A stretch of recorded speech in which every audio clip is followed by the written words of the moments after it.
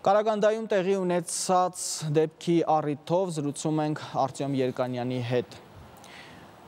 Արտյոմ, ով կարող է շահագրգռված լինել այս, այսպես ասենք, արտակարգ իրավիճակի սրմամբ։ Մեզանումը փորձագիտական հանրությունում այդ հարցը արդեն քննարկվում է, տարբեր վարկածներ են առաջ քաշվում, այդ թվում նաև թե իբր պաշտոնական իշխանությունները Աստանայի կարող են դրանում շահագրգռված լինել, թե իբր Հայաստանի հետ ինչ որ հարցեր կարող են ցանկություն ունենալ լուծել այդ ամենի միջոցով։ Ես այստեղ տրամաբանություն չեմ տեսնում, իշխանությունների շահերից այս իրադարձությունները, գործողությունները չեն կարող բխել, քանի որ իշխանությունը կարող է հենց ինքը դուժել այս ամենի յետևում։ Մեկ այլ վարկած, ազգությամբ ռուս օլիգարխները թե իբր կանգնած են այս ամենի յետևում, որպիսի ռուս-ղազախական այդ խնդիրները արդյունքում այդքան ուշադրության արժանի չլինեն եւ շեղվի ուշադրությունը այլ այս դեպքում հայ-ղազախական խնդրի վրա։ Եվս անտրամաբանական է ըստ ինձ, քանի որ նման իրադարձությունների արդյունքում արդեն հաճախ մոռանում են թե որ ազգության ներկայացիչն է մեղավոր եւ ընդհանուր ազգային պետությունների հասցեին են ուղում դժգոհությունն եւ բողոքը։ Արդյունքում կարող են դուժել եւ ռուսները, եւ հрьяաները, եւ այլ ազգերի ներկայացիչները։ Ամենատրամաբանականը կարող է շահել այս ամենից ղազախական արմատական ընդդիմությունը, որը գրեթե չի երևում հանրային կյանքում եւ փաստորեն գործում է ոչ լեգալ մեթոդներով եւ իհարկե ադրբեջանցիները, որոնց հետ կա այս ամենում ակնհայտ է։ Շատ հետաքրքիր բան տեղի ունեցավ, հաստատվեցին տեղեկություններն այն մասին, որ ի սկզբանն է հետաքնվող հետաքնվող երկու անձինք ադրբեջանցի էին ազգությամբ, այնուհետ պարզվեց, որ նոր վարկած է առաջ քաշվել եւ մեղադրվում են ազգությամբ հայ 3 քաղաքացիներ։ Այս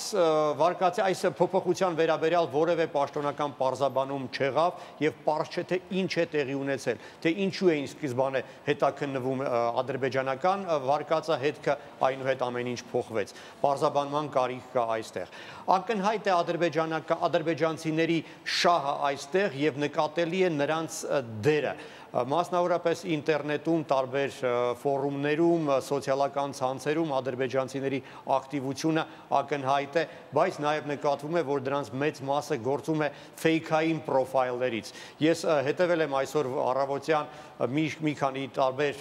հայտնի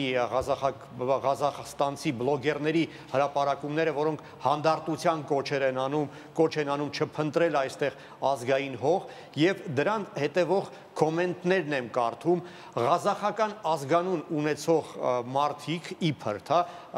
հակառակը դատապարտում են այդ բլոգերներին, հայտարելով, թե նրանք ազգի դավաճան են, թշնամի են եւ որ հայերը 35 հոգով երբ երկու ղազախների են սպանում, բոլոր ղազախները պարտավոր են ոդքի կանգնել։ Բայց երբ մտնում ես այդ պրոֆայլի հեղինակի տիրոջ edge, նկատվում է, որ դա դա fake է։ Ընդ որում նկատելի է, որ նույն ոճով են աշխատում այդ fake-ի հեղինակները, ինչը հնարավորություն է տալիս նկատել, որ ինչ որ կենտրոնացված աշխատանքի արդյունք է եւ կա ինչ որ կենտրոն, որը համակարգում է այդ սադրիչների գործողությունները։ Լրատվամիջոցները ղազախական նույնպես շատ բացասական դեր խաղացին, նու մեծ մասը կամ մի մասը լրատվամիջոցների։ Համենայն դեպս մի քանի փաստ կարող եմ արցանագրել, լրատվամիջոցների մի մասը գրում է թե ինչ հարուստ են հայերը, թե հաշված տարիների ընթացքում ինչ կարողությունների տեր հասցրեցին դառնալ, ինչը ստեղծված պայմաններում իհարկե գրգռում է եւ հակառակ եւ շատ բացասական դեր կարող է խաղալ։ Մի քանի լրատվամիջոցներ այդ թվում նաեւ ցանցային եւ հեռու հեռուստատեսություններ կրկին բացրացնում են Ղազախստանի նախկին առաջի քարտուղար ազգությամբ հայ Լևոն Միրզոյանի ուրեմն պատմությունը, նա 30-ական թվականներին է ղեկավարել Ղազախստանը, ժամանակին Ղազախների հայր էին իրեն անվանում, քանի որ նրա օրոք Ղազախստանը սկսեց ծաղկել, բայց վերջին տարիներին հակառակը նրան մեղադրում էր, թե իբր նա նպատակաուղված հակաղազախական քաղաքականություն էր վարում այդ հանրապետության ղեկավար լինելով։ Անցած տարի նրա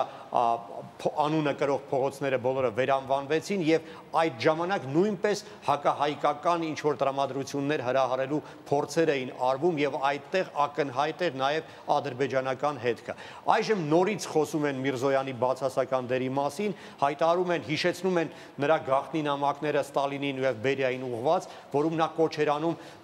ձերբակալել եւ եւ գնդակահարել եւս մի քանի տասնյակ ղազախների։ Իհարկե դա սուտ է, ղազախների մասին խոսք չի եղել, խոսքը ղազախստանցիների մասին է եղել։ Այստեղ ազգությունը ընդհանրապես դեր չի խաղացել։ Եվ երկրորդը շեշտը դնել այն հանգամանքի վրա, որ նա հայ է, որ հայը կոչ է արել սպանել, գնդակահարել ղազախներին, բոլորովին անիմաստ է եւ անհեթեթ։ Եվ ընդհանրապես ես կդժվարանայի այդ պետական գործչին հայ անվանել, քանի որ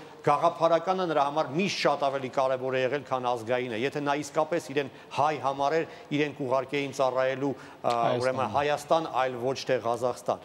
Փառք Աստծո, որ Հայաստան չուղարկեցին, քանի որ ես գրեթե վստահ եմ, որ եթե նա լիներ Հայաստանի ղեկավարը, այստեղ գնդակահարված եւ ձերբակալված հայերը կլինեին շատ ավելի շատ, քան Ղազախստանում։ Ինչպես ժամանակին Միկոյանի նամակն էր, երբ նա կոչ էր անում գնդակահարել եւ ձերբակալել եւս մի քանի հազար Հայաստանի քաղաքացիների։ Այստեղ հայկական ցակումը Միրզոյանի բացարձակ ոչ մի դեր չի խաղացել։ Իսկ ընդհանրապես իշխանությունը Ղազախստանի այս օրերին ինչպիսին է գործողությունները, թեև այսպես հպանցիկ անդրադարձանք, արդյոք adekvat է իշխանության գործողությունը։ Իշխանությունը կարծում եմ բոլոր հիմքերը ունի մտահոգված լինելու իր ամրությամբ, քանի որ նման սոցիալական այդպիսի իրադարձությունները կարող են հակապետական գործողությունների առիթ պատճառ դառնալ։ Իհարկե քաոսի վերածել։ Ղազախստանը հարուստ երկիր է, բայց այնտեղ շատ մեծ է տարբերությունը հարուստների եւ աղքատների միջև այդ աղքատներն են այժմ փողոց դուրս գալիս եւ པարզ չէ թե ինչ ուղով կարող են նրանց ուղղորդել այդ իմաստով կարծում եմ իշխանությունները շահագրգռված են օր առաջ վերջ տալ եւ հանդարտեցնել իրավիճակին դատախազությունը կարծես թե adekvat է անմիջապես արձագանքեց մի շարք ցանցային լրատվամիջոցներում եւ սոցցանցերում եղած հրապարակումներին, որոնցում կոչ էր արվում հայերի դեմ դուրս գալ եւ դրան դրա փաստի կապակցությամբ քրեական գործ է հարուցվել, սակայն ես շատ մեծ կասկած ունեմ, որ մենք կիմանանք ճշմարտությունը, թե ովքեր էին իրականում կանգնած այդ այդպիսի կոչեր անող մարդկանց յետևում Իսկ ես գրեթե վստահ եմ, որ ադրբեջանական համայն ադրբեջանական գործոնը այստեղ արկա է։ Այդ իմաստով մեծ է Աստանայում Հայաստանի դեսպանություն դեսպանության դերը մենք նոր եւ ակտիվ դեսպան ունենք այդ երկրում նա նոր է ստանձնել իր այդ պարտականությունը եւ դժվար առաքելություն է իրեն սպասում Իսկ ընդհանրապես հայկական համայնքին ոչ միայն Կարագանդայի, այլև ամբողջ Ղազախստանի արդյոք այս իրավիճակը վտանգավոր չէ հայերի համար Առավոտյան մի քանի հերոխոսազանք ունեցա Ղազախստանում ապրող հայրենակիցների հետ զրուցել եմ, որոշակի խոճապային տրամադրություն կա, բայց դա իշխանությունների արձագանքը շատ կարևոր է, որpիսի դրան վերջ տրվի ամեն դեպքում հայերը այնտեղ բոլորովին այն մարդիկ չեն, որոնք խնդիր են ստեղծել Ղազախստանի համար։ Հակառակը դա մարդիկ են, որոնք պատիվ են բերում Ղազախստանին, որոնք հարկեր են վճարում Ղազախստանին, թեև ինչպես ասացիր, շատերը գործարարներ են, բազմաթիվ եւ շատ հեղինակավոր մտավորականներ կան Ղազախստանի հայ համայնքում։ Դա Աստան Ալմատի ռուսական դրամատիկ թատրոնի գեղարվեստական ղեկավար Ռուբեն Անդրեասյանն է, հայտնի օպերային երգիչ Բարսեղ Թումանյանը, հայտնի գինեգործ Ռուդիկ Մնացականյանը, հերոստահաղորդավար Սերգեյ Պողոսյանը եւ նաեւ Ղազախստանի նախկին առաջին փոխվարչապետ Եվգենի Բաբախանովը։ Ցավոք այդ մարդիկ առայժմ լռում են։ Նրանք չեն գնում հերոստատեսություններ կամ միգուցե իրենց չեն հravirում։ Համենայն դեպս այդ մարդկանց դերը այժմ շատ կարևոր է եւ շատ ցանկալի կլիներ, որ իրենք հանդես գային հայտարարություններով, խոսեին եւ կիսվեին իրենց կարծիքով։ Եվ շատ կարևոր է, շատ անսպասելի է ինձ համար, որ լրում է Ղազախստանի ազգությամբ հայ պատգամավոր Նարինե Միքայելյանը իբր թե նա այդ երկրի խորհրդանում ներկայացնում է հայ համայնքը։ Ես մինչ օրս չեմ տեսել ոչ մի գրառում, ոչ մի հայտարարություն, ոչ մի խոսք, որ այդ կինը կիսվեր, ասեր, մի բան աներ։ Այդ դա իհարկե մտահոգում է եւ կարծում եմ Ղազախստանի հայ համայնքը իրավունք ունի պահանջ ներկայացնել նաեւ իր շահերը խորհրդանում ներկայացնող падգամավորին։ Շնորհակալություն Արտյոմ, հուսանք, որ առաջիկա օրերին լարվածությունը կթուլանա եւ մեր հայրենակիցներին, գոնե մեր հայրենակիցներին վտանգ չի սպառնա։